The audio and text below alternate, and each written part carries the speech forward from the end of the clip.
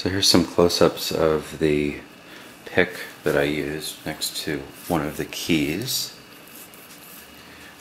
You can see the pick is made from an old pick actually. I think it was a sparrows that I broke early on. So this is the key. This cut, sure I'm still, yeah. This cut here is the clearance for the um, the nose of the lock and then this is the bitting here.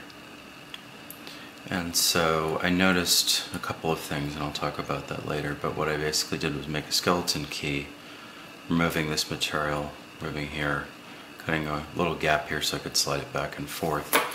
And then I used this old um, another broken pick which I have many of um, this old storm pick just for the tip as a lifter to lift one of the levers. Okay, so we'll gut one of these and see what's going on inside. Okay, this is C56, which I have not gutted before. And so we get to see what's inside here. There's a screw. These are made by Sargent and Greenleaf. Um, they were advertised, I believe, um, as um, I think having come from a post office, type of post office application.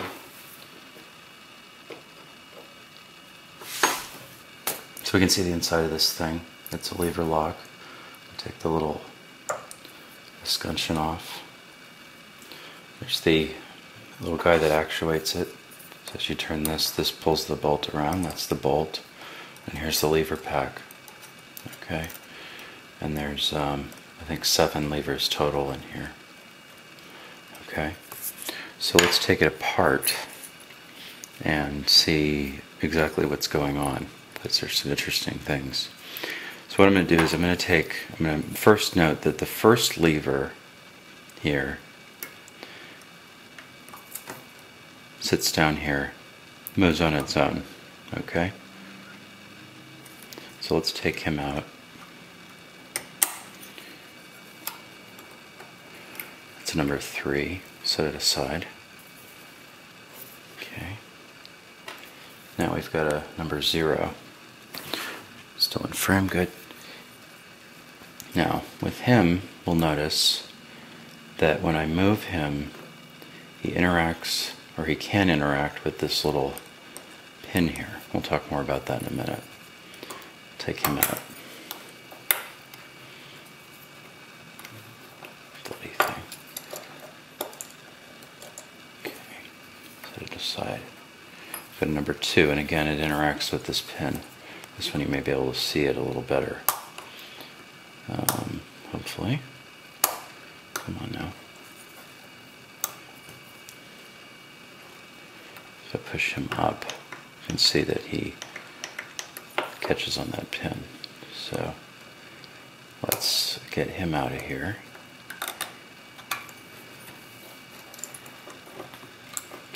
I'm going to take the next few out rapidly. There's a 5, just to show you that the bitting is non-trivial. There's a 2, I think I've seen these up to six or eight. I don't remember exactly how many total sizes they have. Come on. Very tight fit, actually. Set that over there. There's a one.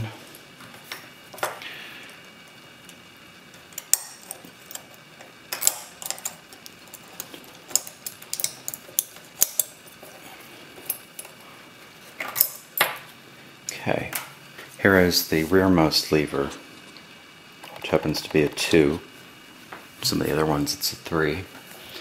And you can see that he has this little extra stump on him. Okay. He does have a gate, okay, but I think it even has a, yeah, no it doesn't have an anti-pick notch on it. It has a gate, but that's the rearmost lever. Okay, if we take him off, then you can see the little actuator and the bolt itself. And the bolt, actually, nothing in here is steel other than the screws. So it's kind of like that safe deposit box we looked at last week. I got a bunch of these in the mail, and uh, first thing I did was take it apart. and see what was going on.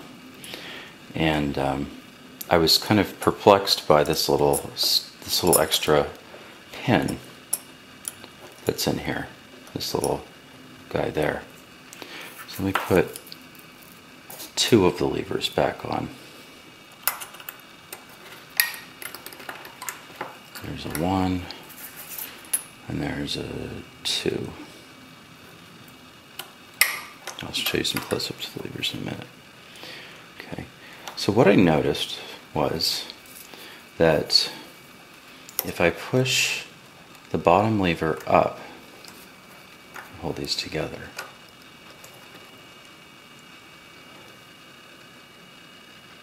they both move in synchrony.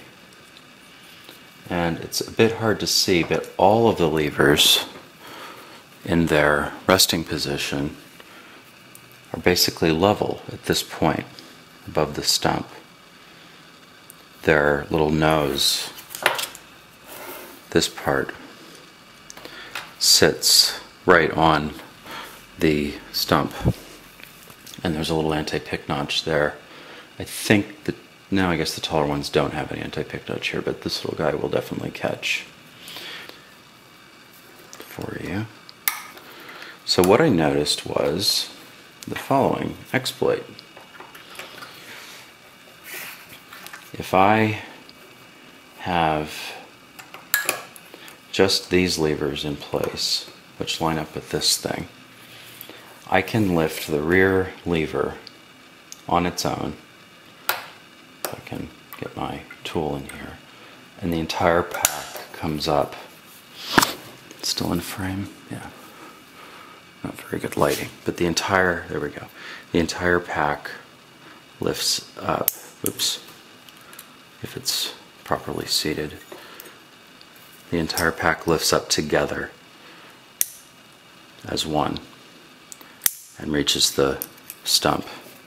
Except for the last lever, which does not interact with this with the little stump.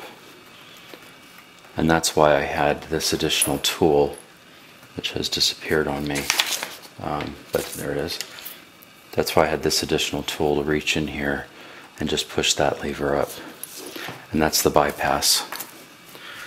And this works with every one of these things that I've tried. So very interesting lock. Has some security features, but seems to be designed so that, you know, easily picked. And if you made a series of keys, I was considering filing one of these down, but I only have a few. If you made a series of keys with different depth cuts on the last position, and removed everything but the first and last cut. And you would need maybe seven or eight of them. You could open any one of these locks with one of those tryout keys. So, very interesting system, clearly designed for a public place where you're not going to sit there with a pick or a lot of tryout locks or tryout keys. But if the owner of the mailbox or the you know, somebody needed to get in quickly, they could. So I thought that was very cool. Thanks for watching. Have fun and keep it legal. Cheers.